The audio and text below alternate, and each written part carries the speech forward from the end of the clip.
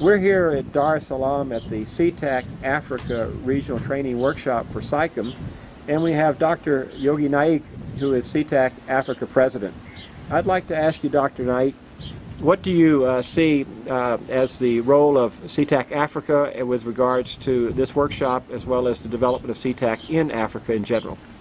Thanks, Mike. Um, I think uh, just to give some short background quickly, the SAICM initiative is there to try and integrate uh, international chemical controls management, and as a result of which, all many nations are coming together. People from different disciplines are coming together, and um, that is what SAICM is about, and that's what this training workshop is about: is to disseminate some of this knowledge or to try and get people trained in order to better cope with the SAICM initiative in terms of SETAC um, general uh, globally, their aim is to involve environmental toxicologists and chemists to come together to see if they can share information and somehow reduce or control and be more aware of the chemical uh, threats to the environment, not only to human health but also to the environment in general.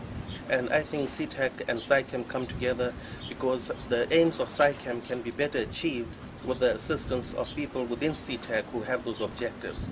In terms of SETAC Africa, many countries in Africa are underdeveloped and therefore they have mainly uh, agricultural and uh, mining-based industry but not much industrial-based industry, uh, not, not much industrial-based activity.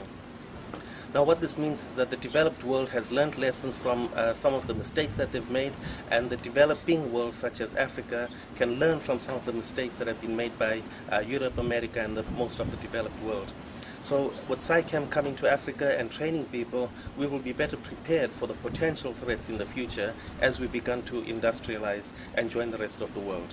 I think that SETAC Africa has a role to play in Africa because many countries have been working independently and in isolation and membership of SETAC Africa would allow uh, people from different countries to come together and share their uh, views, their results and their opinions in order to better achieve the goals of SAICM. And uh, Dr. Naik, one last question. Um, can you encourage uh, your fellow SETAC members to join you at the Kampala uh, annual meeting in November this year? Yes, um, the fourth meeting of SETAC Africa will be taking place in Kampala in Uganda. Uh, the previous three meetings have been very successful. They've been growing in terms of numbers. The membership has grown every time people come to these conferences. I would strongly recommend anybody who has an interest in environmental toxicology and chemistry to attend that uh, meeting in Kampala. Not only African scientists, but the SETAC Africa platform would also allow scientists from Europe to come and interact with scientists in Africa.